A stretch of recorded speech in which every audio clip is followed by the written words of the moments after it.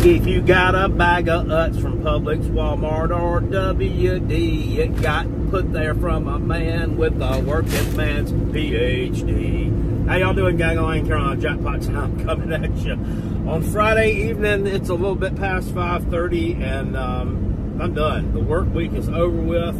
And I want to talk a little bit of Gamecock football real quick, but I also wanted to let you guys know that over on the community tab, there is a poll.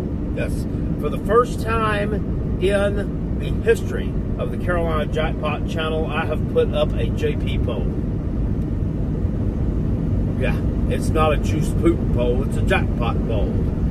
Um, there's four choices on there. You have noon games, afternoon games and evening games for tomorrow. I want to do some live streaming, and basically, I put the game that I think is the marquee game for each one of those time slots down. Doesn't really have to just exactly be that game, but it'll be on during that time. I'm interested in coming and doing that and hanging out with y'all tomorrow. So let me know which one you want me to do. So the Gamecocks don't have a game tomorrow. There's also a fourth option on there, which uh, if you're a dick, you'll select it, and that would be take the weekend off. Nobody watches you anyway. I know you're not going to.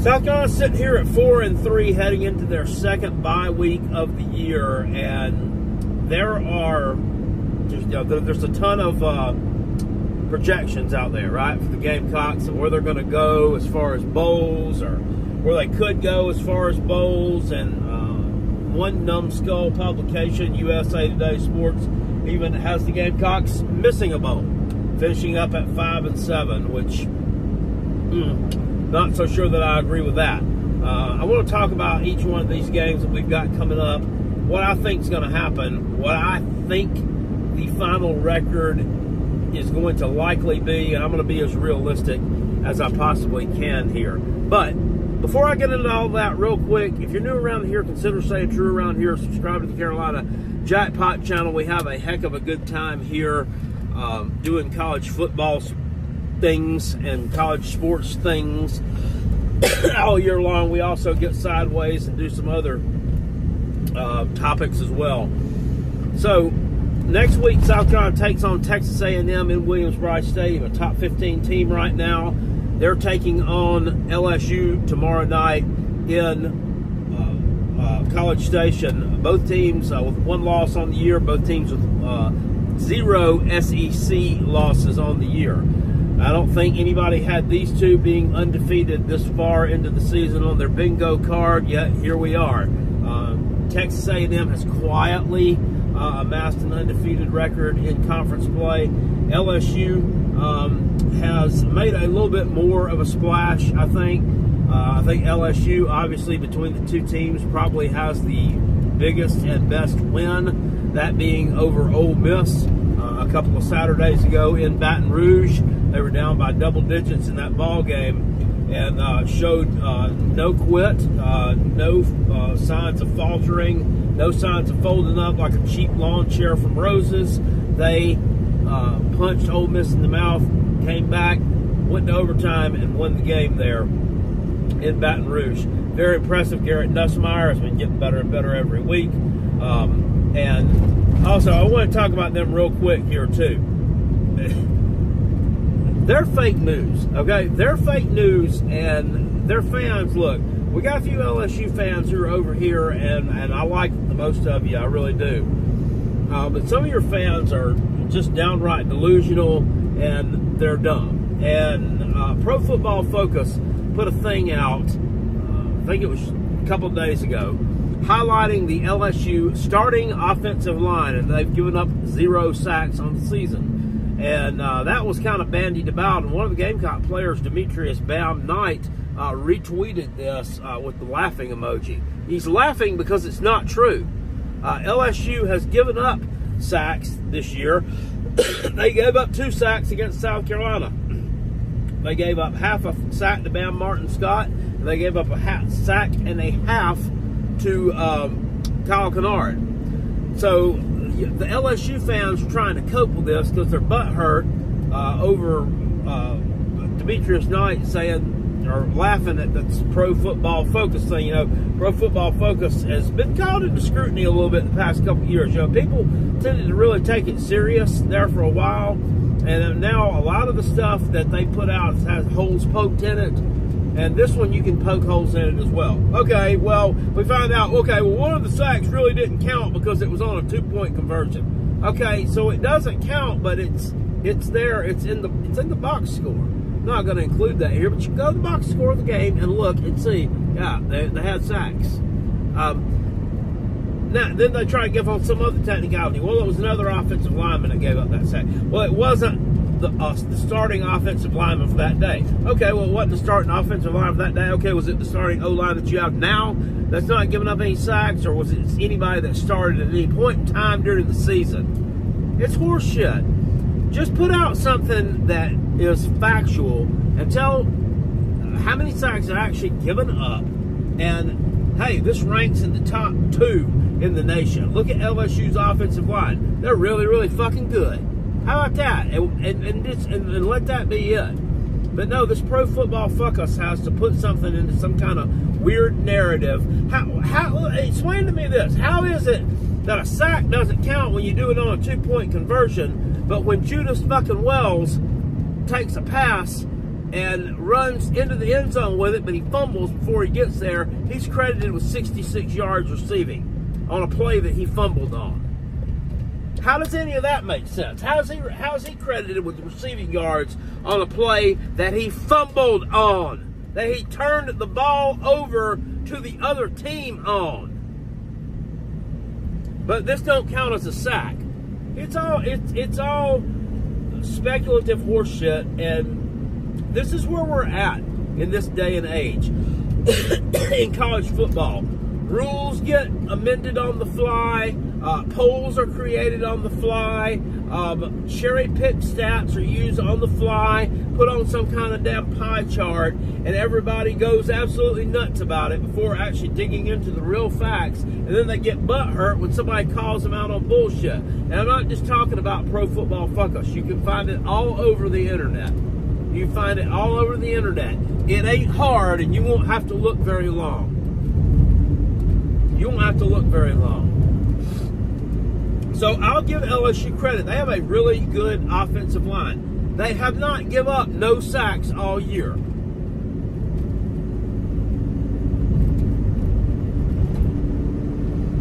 They oh, never, never mind. I'm not even go there with them. They were lucky to win in South Carolina. They were real lucky to win in Columbia, and it's not nothing they did.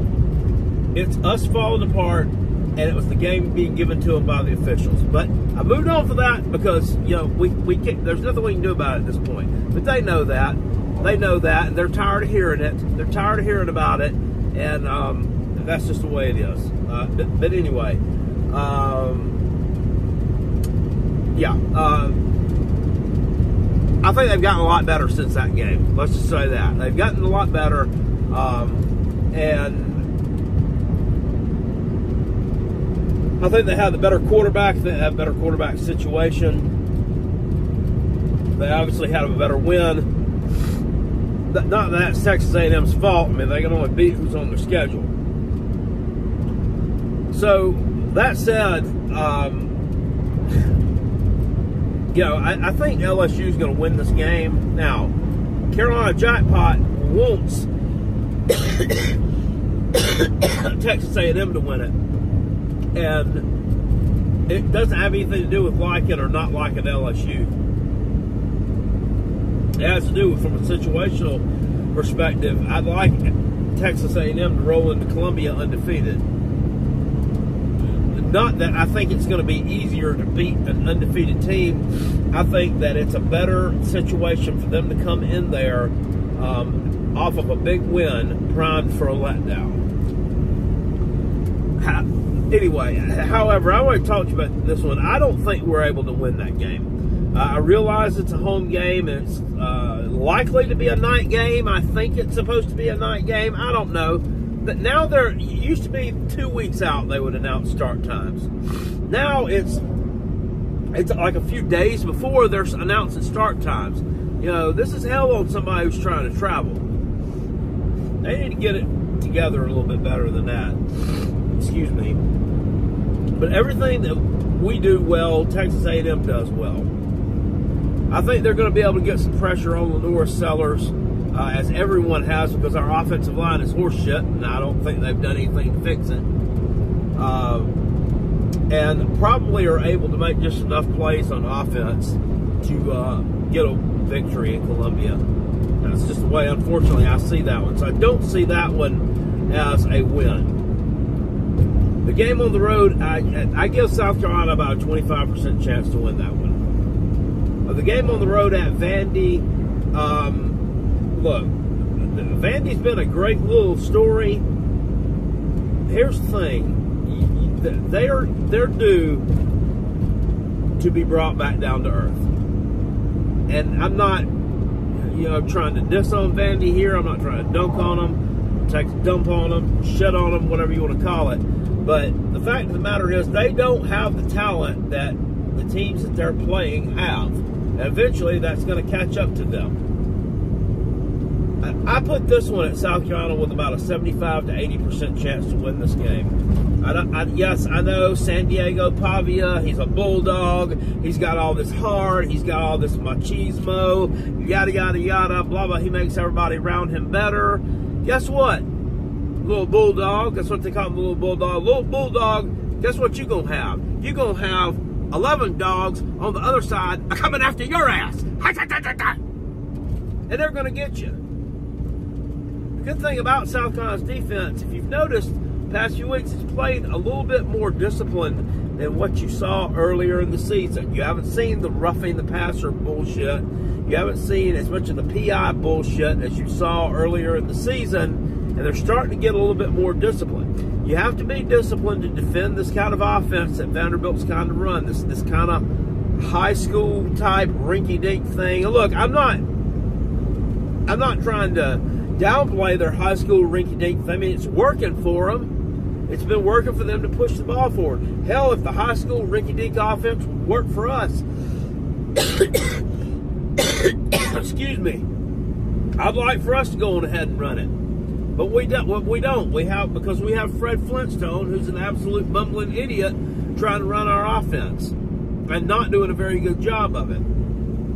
But they have to be able to play assignment football to defend a quarterback like that. And one of the things I like about uh, listening to the Cole Cubelic Cube show is him talking. Uh, well, he breaks things down from a player's or a coach's perspective, but he puts it in terminology that you can understand as a fan. And talked about Dylan Stewart and South Carolina's defensive line and how they had great pocket awareness. And I'm like, what's pocket aware? What's he talking about? And he goes on to explain that's, you know, that, that they understand where the pocket's going, where the pocket's moving to, where uh, that the quarterback's going to be. It, it, instead of, you know, being undisciplined like a lot of these young, especially often, uh, defensive linemen are, like over pursuing uh, a quarterback, over pursuing a running back. Getting into the backfield is not enough if you're not going to be able to make a play when you get there or not able to anticipate where that individual is going to be, where your assignment is going to be at. And they're doing a good job of that. Just their discipline and, and just their overall disruption of a team's game is why I think South Carolina has a 75 to 80% chance of going on the road and beating Vandy. South Carolina will be able to score on them And even with the Fred Flintstone offense, they'll still be able to put points on the board on Vandy. Uh, their defense is not good. I mean, they don't stop anybody. So I'm not real worried about that part. You got the home game against Mizzou the next week. Mizzou's caught a lot of flack lately. I, I'm like, you know, I, I'm, I'm kind of on the fence with them, knowing that I mean they have tremendous potential to do really well. I mean, they're still sitting here with one loss. Everybody's written them off, though. Uh, they see more losses coming. I, am sort of in agreement with that, and then especially with their uh, quarterback situation, Brady Cook being banged up, got a high sprain. from what I understand, we don't. I mean, I don't know if he's going to play in the game against Alabama. I don't know how long he's going to play. They're starting running backs gotten kind of banged up too. Um, and, and this team doesn't seem to have. You know, I thought losing Cody Schrader in the offseason, I didn't think it was going to be a big deal because they brought in this Noel guy and they brought Marcus Carroll in from uh, Appalachian State. But much like San Diego Pavia, I think Cody Schrader made everyone around him better. Is San Diego Pavia's, is he 2024's Cody Schrader in the SEC? He may be. He may possibly be. I don't know. That said, uh, Cody Schrader had a lot better pieces around him than San Diego does. So uh, there's that. I I still am leery of this game in that South Carolina and Shane Beamer have gotten outcoached by Eli Drinkwitz the past, well, forever. You hadn't beaten him. We haven't beaten them since Will Muschamp was in Columbia back in 2018. South Carolina beat them with backup quarterback Michael Scarnecchia. South Carolina hasn't beaten Mizzou with a starting quarterback since 2017. Wow, that was a long time ago. Second week of the season in Columbia, Missouri, in Como. So we're due, but just because you're due doesn't automatically mean you're going to get a win. You've got to go out there and execute. You got to go out there and get it. But I think South Carolina's defense, once again, is going to cause a lot of disruption for this Missouri offense. I think the kind of offense they run is one that's going to play right into the hands of our defense. And I've put South Carolina at a better than 50% chance of winning this game. I want to say a better than 50%. What I, number I want to assign to that, I'm not really sure right now, and a lot of it has to do with Brady Cook, his health, Nate Noel, his health, and health of any other key players that they have on uh, that. Yeah, just going ahead and go. I was here first. Idiot. Uh, people in South Carolina don't know how to treat a four-way stop. They don't know how to use it properly. So therefore, they should put in more traffic lights. Uh, and then when you beat the horn at them, you know, you think they'd at least throw their hand up like I'm sorry or flip you off or something. They just ignore you. You know, I, I want I want beef. You know, let's let's go. Game against Wofford the next week is uh, that's a no-brainer. South Carolina's winning that game easily. That will be you know an empty the bench type thing there. Um, actually, they have won three games this year though. They've won one all of last year, so I guess that's a, a feather in the cap of the Wofford man. There is one. Uh, and then that last game of the season against Clemson. Look, Right now, I'm putting that at about a 25% chance that South Carolina wins that game. Defensively, South Carolina is going to cause Cade Klubnik a lot of problems. There, he he's going that this is going to be the best by far defense that he will see the rest of the year, um, and that also includes that uh, defense from Pitt that we saw last night um, get all over Syracuse. South Carolina's defense is better than that. Although I will say Syracuse, uh, uh, Pitt had a good defense. It's not a South Carolina level defense. Um, that said, they're going to cause him some problems. Um, they're going to shut down Phil Mafah. Uh, possibly take him out of the game. I don't mean take him out of the game like hurt him. I mean take him, uh, make him a non-factor in that game. Make Cade Klubnik have to start making plays with his arm and then we're going to just rush the damn hell out of him and put him on the ground a bunch of times. That said, though, uh, where, where, where your points going to be scored at? See, that's the thing. Despite the fact that um, Clemson's defense seems to have taken a step back this year, that defense still is going to be better then I'm not going to say it's going to be better than any of them you're going to face on the schedule remaining. Uh, it, it, it, uh, that and Texas A&M, I don't, I'm not sure where they rank out side by side, but I think they could be somewhat comparable. Clemson with a lot of talent on that defense. So I think points are going to be at a premium. Uh, in terms of from the South Carolina perspective in this game. So I'm not really sure, uh, you know, what to make of this one. We could end up seeing another game like we saw last year. Uh, another ugly game uh, that muddied up there, but I mean that one was muddied up because neither team could move the ball, and this one I think it's going to be probably muddied up because South Carolina's not going to be able to move the ball, and South Carolina's defense is going to make sure they don't move the ball. So right now I'm putting out at about a 25% chance to win, but I mean, Dowell Loggins, I mean, call your friends, dude. Watch it. You know what? Last night I watched Old Dominion play Georgia Southern, and they scored from like the three yard line with a jump pass. And I'm like, a, a freaking jump pass. I mean, that's brilliant. I mean, you know, we've seen that before. That can't be real hard to execute, right? I, you know, why can't a Nick Harbor not a Nick Harbor, excuse me. Why can't a uh, Norris Sellers execute a jump pass? I'm sure that he could, but you know, dumb fuck won't put it in the playbook, won't practice it because he's an idiot. I mean, just watch plays that other people score on, and draw them up to tailor to your team's specifics and use them. I mean, what would be wrong with that? I don't know. I mean, I don't know. Something's going to have to give. Something's going to have to give uh, between now and then. But uh, that's a game I don't think you're going to win unless you can find an offense, and I, I don't know where you're going to find one in four or five weeks. So that's that. I think South Carolina is either finishing six and six or seven and five, um, with the seventh win hinging on that Mizzou game. Whether or not they're going to be able to get that win in Columbia there's a lot of motivation there for South Carolina to get that win. So they should be able to take that one. But know, we'll have to see the health of Brady Cook and uh, the health of Nate Noel and staff, uh, or and uh, cohorts, excuse me, not staff, uh, are going to be. Uh, that's going to have a lot to say in terms of whether you win that game or not. So that's all I got to say about that. Uh, you know, Go vote about the live stream. Oh, one more thing.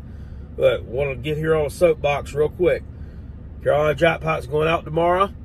I'm going to go early vote because I got to work on that Tuesday. That's election day, and I, I, there's no way that I can fight those lines.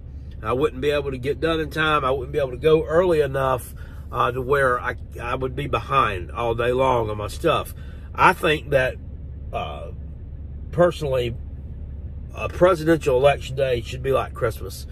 Everything should be closed except for hospitals where everybody has a chance to go vote. Everybody. That would really, uh, that they won't do that. I don't know why, but that would ensure a huge turnout at the polls if everybody was able to go. Um, that said, um, I hope all y'all are planning on voting if you're old enough. Um, and make your choice wisely. If you haven't made your choice yet, make your choice. Uh, you've only got what? You've got less than two weeks to do it.